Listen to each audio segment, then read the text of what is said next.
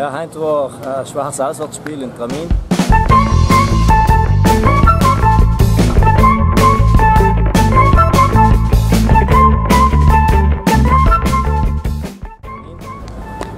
Ich glaube, wir sind mit der richtigen Einstellung im Feld hineingegangen und haben auch schon mal gekannt, 20-0 schießen.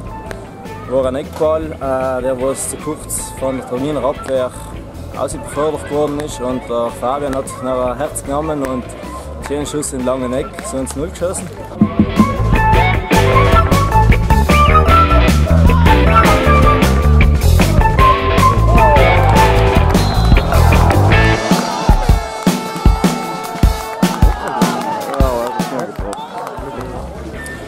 Äh, leider haben wir noch kurz drauf so ein zu uns gekriegt. Noch ein Kanter hat der Bichner macht ihn so ein zu uns geschossen.